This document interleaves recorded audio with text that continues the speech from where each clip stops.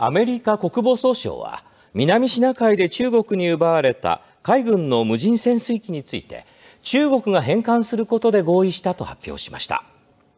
国防総省のクック報道官は声明で南シナ海の公海での中国の不法な奪取に抗議してきた。中国当局とのやり取りを通じ中国が無人潜水機を返還するという合意に至ったと説明しました。中国国防省は昨日返還する方針を明らかにしていましたがまだ無人潜水機は返還されていません。またトランプ次期大統領はツイッターで中国がアメリカ海軍の無人潜水機を盗んだありえない行為だと批判し返還については中国が奪った無人機なんていらないと書き込みました。トランプ氏の台湾をめぐる発言以来中国政府はトランプ氏への警戒感を強めていて米中間の緊張が高まる可能性があります。